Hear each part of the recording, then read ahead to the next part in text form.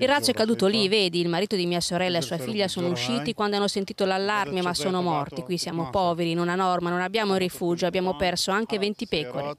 Arafat racconta così la tragedia che ha colpito la sua famiglia ieri notte, contadini arabi che vivono nella campagna vicino a Lod, città mista, teatro nei giorni scorsi di scontri tra residenti arabi ed ebrei più violenti nello Stato di Israele. Fino alla scorsa settimana vivevamo abbastanza tranquilli, poi sono cominciati gli attacchi, guarda come è ridotta la mia macchina. I miei vicini hanno anche aperto il portone di casa a questi terroristi che mi hanno distrutto mezzo appartamento, dice Lior. Accanto un residente arabo racconta la sua versione di come la violenza per le strade sia esplosa dopo l'uccisione di un arabo del quartiere, a cui un ebreo ha sparato per difendersi dai sassi. Bastano pochi secondi e volano parole pesanti, interviene la polizia.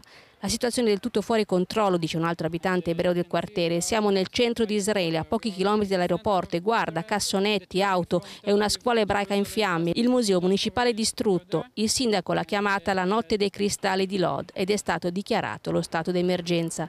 Il sindaco del Likud è un razzista, dice quest'altro residente arabo. Ha cercato anche di proibire le preghiere musulmane e permette ai coloni di girare armati.